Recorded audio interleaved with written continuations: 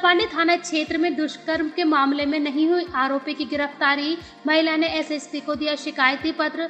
जनपद मुरादाबाद के मुंडा पांडे थाना क्षेत्र निवासी। महिला का आरोप है कि बीती 24 तारीख को उसके साथ गाँव के ही रहने वाला एक युवक बबलू उर्फ़ हरिशंकर उसके घर में घुस आया। महिला घर में अकेली थी।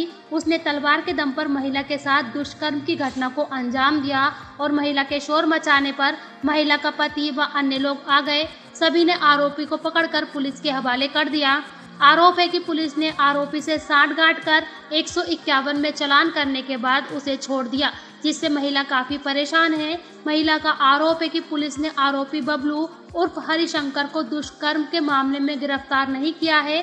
इस मामले में उसने पूर्व में भी एसएसपी को एक शिकायती पत्र दिया था, लेकिन फिर भी कोई कार्यवाही नहीं हुई, जिसके बाद दोबारा से महिला ने एसएसपी को शिकायती पत्र देते हुए आरोपी की गिरफ्तारी की मांग की है।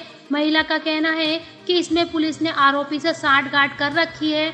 और उसे गिरफ़्तार नहीं कर रही है। महिला ने एसएसपी से अब इंसाफ की गुहार लगाई है।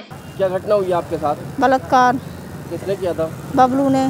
कहाँ रहता बबलू? दौलारी। क्या घटना हुई आपके साथ? बलात्कार हुआ था मेरी गर्दन पे तलवार रख के बोला था कि अगर मेरे साथ में तूने जो मैं कहूँगा वो नहीं करा तो तेरा मर्डर कर दूँगा। और उसके बाद वो बलात्कार करने के बाद घर से निकल रहा था तो ही मैंने शोर मचाया तो मेरे घर वालों ने पकड़ लिया। कब की घटना आई है? ये चौबीस तारीख की।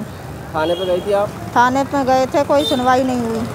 अब एस एस कार्यालय आए क्यों आए आज कप्तान सिंह के पास आए को यहाँ पे भी कोई सुनवाई नहीं हुई हमारी। क्या चाहती हैं इसमें मैं ये चाहती हूँ जिसने मेरे साथ में बलात्कार करा है उसे सज़ा मिले। गिरफ़्तार नहीं हुआ अभी पुलिस अभी अभी नहीं हुआ है वो गिर- पुलिस गिरफ़्तार। है इसमें? पुलिस कोई सुनवाई नहीं कर रही मेरी। कप्तान सिंह भी कोई जवाब नहीं दिया उन्होंने वो भी कुछ नहीं बोले। आरोपी गिरफ़्तार नहीं हुआ अभी? नहीं हुआ। आप क्या चाहती हैं इसमें आरोपी गिरफ़्तार हो? हाँ उसे सजा हो। पुलिस ने क्या कार्रवाई की? उसने पैसे खा लिए दरोगा जी ने महेश मलिक ने। किस किससे पैसे खाए? उससे बबलू से। आरोपी से? हाँ। उसे गिरफ़्तार नहीं करा? नहीं पैसे खा लिए थे उस, उससे।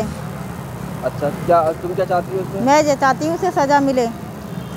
जैसे उसने मेरे साथ में बलात्कार करा है उसे सज़ा ज़रूर मिले। उनने मेरी गर्दन पर तलवार रख के एसएसपी से क्या चाहती हैं मैं ये चाहती हूँ कि उसे सज़ा दें वो।